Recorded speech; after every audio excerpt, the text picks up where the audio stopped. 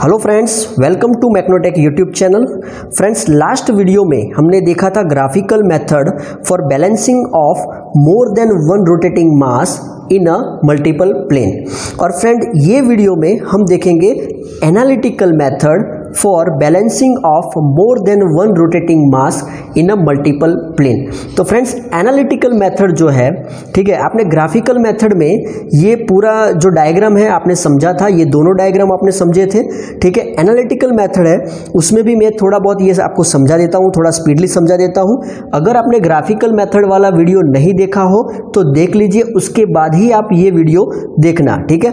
तो यहाँ पे चार प्लेन दिए हुए हैं A B C and D चार प्लेन है, ठीक है? और चार अलग अलग प्लेन यहाँ पे दिए हुए हैं। यहाँ पे रेफरेंस प्लेन यहाँ पे दिया हुआ है एम एल रेफरेंस प्लेन क्यों लेना है, वो भी मैंने आपको बताया था।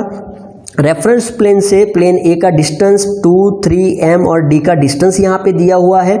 ये साइड व्यू में आप यहाँ पे एंगल जो है ए प्लेन जो है, उसको एज अ रेफरेंस कंसीडर करके यहाँ पे बी सी और डी का एंगल यहाँ पे दिया हुआ है। चलो, इतना हो गया। अब यहाँ पे हमें क्या करना पड़ेगा? Summation of all the centrifugal force must be zero and all the couple must be zero. CFH और CFV is equal to zero. ये हमने लास्ट वीडियो में भी देखा था। तो सबसे पहले हम यहाँ पे कपल पॉलीगॉन के लिए यहाँ पे टेबल लेंगे। सो so, सबसे पहले यहाँ पे plane mass radius then distance from the reference plane then angle then couple M R L then horizontal couple and vertical couple. Resolve the couple in a horizontal and resolve the couple in a vertical. तो इस तरह से ये पूरा table आएगा। तो plane जो है A L B C M D ठीक है? छह प्लेन यहाँ पे बताए गए हैं। प्लेन एल जो है दैट इज़ रेफरेंस प्लेन फिर मास यहाँ पे दिए गए हैं अकॉर्डिंगली एम ए से एम डी तक। वैसे ही यहाँ पे radius R A R L R B R C R M और आर डी यहाँ पे दी गई है।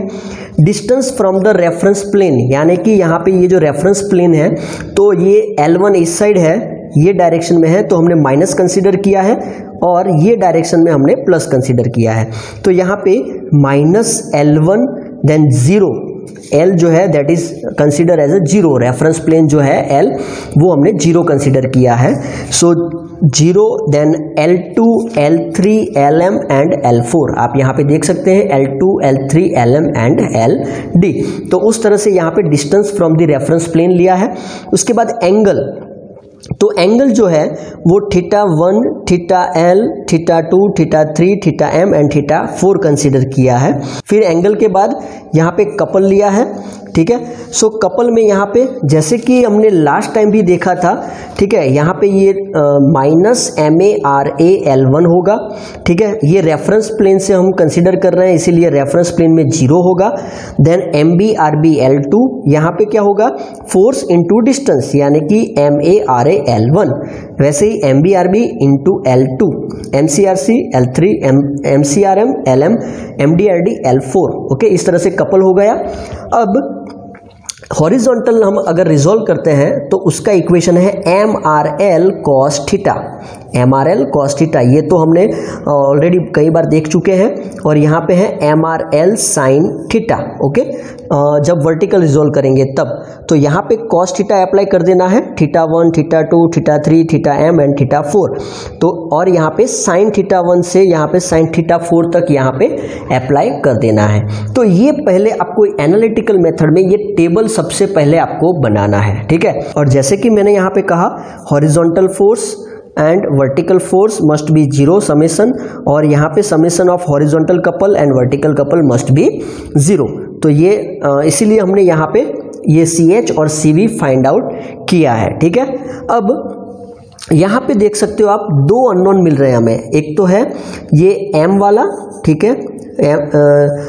M M, R M, L M, cos theta M और दूसरा है M M, R M, L M, sine theta M. तो ये दोनों जो है वो अननोन है, ठीक है?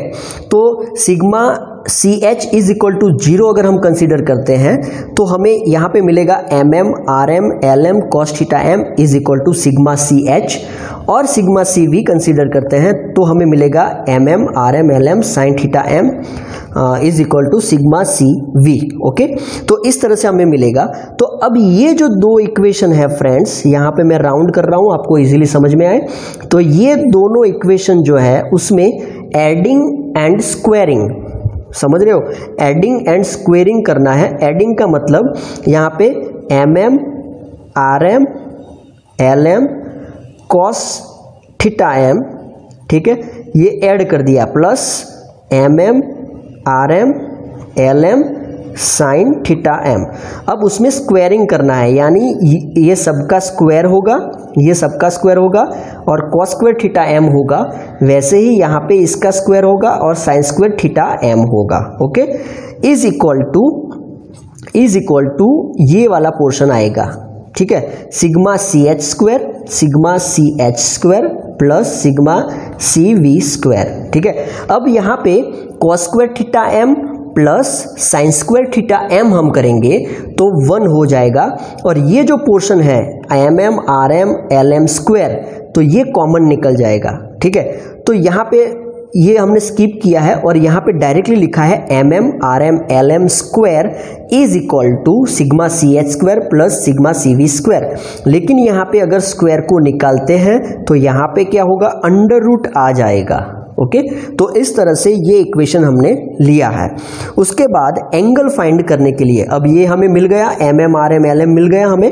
उसके बाद हमें क्या करना है? एंगल फाइंड करना है। तो एंगल कैसे फाइंड करेंगे? C V upon C H ठीक है? Is equal to M M R M L M sine theta M M M R M L M cos theta M तो यहाँ पे ये निकल गया और ये हो गया tan theta M okay so tan theta M is equal to C V upon C H C H तो यहाँ पे theta M is equal to theta M is equal to tan inverse C V upon C H करेंगे तो हमें यहाँ पे angle मिल जाएगा। Theta M का जो एंगल है, वो हम फाइंड आउट कर सकते हैं। तो बेसिकली यहाँ पे हमें, यहाँ पे एम के लिए मास मिल गया, ठीक है? एम प्लेन के लिए यहाँ पे मास मिल गया। ये अननोन था हमारे लिए। तो एम प्लेन के लिए मास भी मिल गया और यहाँ पे एंगल भी मिल गया। तो ये था कपल पॉलीगॉन के लिए, ठीक है? कपल पॉलीगॉन के लिए हमने यहाँ पे फाइंड किया ये सब। अब सेम एनालिटिकल मेथड में और आगे चलते हैं तो यहाँ पे अब आएगा फोर्स पॉलीगॉन, ठीक है? अब जैसे ग्राफिकल मेथड में हमने क्या किया था, पहले कपल पॉलीगॉन ड्रॉ किया था, उसके बाद फोर्स पॉलीगॉन ड्रॉ किया था, वैसे ही यहाँ पे पहले कपल पॉलीगॉन देखा और यहाँ पे उसके बाद फोर्स पॉलीगॉन यहाँ पे देखेंगे। तो फोर्स पॉलीगॉन के लिए मैं थोड़ा स्पीडली जा रहा हूँ यहाँ पे। प्लेन सब दिए हुए हैं, मास दिए हुए हैं, रेडियस दिया हुआ है उसके बाद यहाँ पे सेंट्रीफ्यूगल फोर्स जो है, वो हमें फाइंड आउट करना है एम इंटू आर तो यहाँ पे सब सेंट्रीफ्यूगल फोर्स फाइंड किया है M A R A M L R M M L R L M B R B M C R C M M R M M D R D तो यहाँ पे centrifugal force find किए हैं।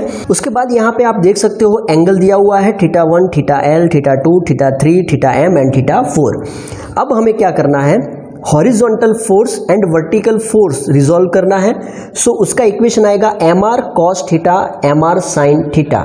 ठीक है ये बहुत बार कर चुके हैं हम। So M A R A cos theta one M L R L cos theta L M B R B cos theta two. उस तरह से यहाँ पे M D R D cos theta four. और उसी तरह से यहाँ पे वर्टिकल फोर्स को अगर रिजोल्व करेंगे तो M A R A sine theta one M L R L sine theta L and में M D R D sine theta four ठीक है? इस तरह से ये पूरा टेबल जो है आपको फोर्स पॉलीगॉन के लिए कंप्लीट करना है, ठीक है? अब हमें क्या करना है?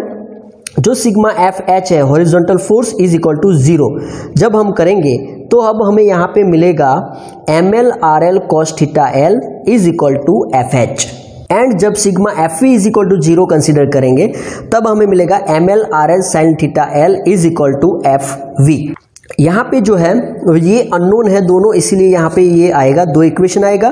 फिर जैसे हमने यहाँ पे कपल पॉलीगॉन में देखा, उसी तरह यहाँ पे एडिंग और स्क्वायरिंग करना है तो हमें यहाँ पे मिलेगा M L R L is equal to under root sigma F H square plus sigma F V square ठीक है? तो इस तरह से हम यहाँ पे M L R L find out कर सकते हैं। ठीक है?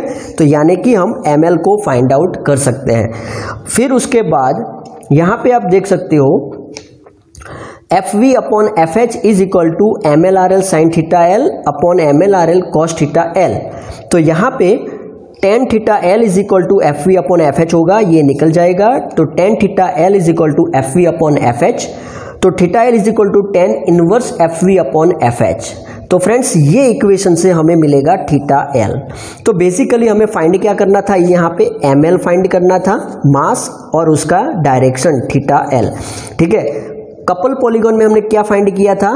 M M and theta M तो ये कपल पॉलीगॉन में हमने फाइंड किया और ये हमने फोर्स पॉलीगॉन में फाइंड आउट किया. फिर एग्ज़ाम्पल हम देखेंगे, उसमें आपको और ज़्यादा समझ में आएगा.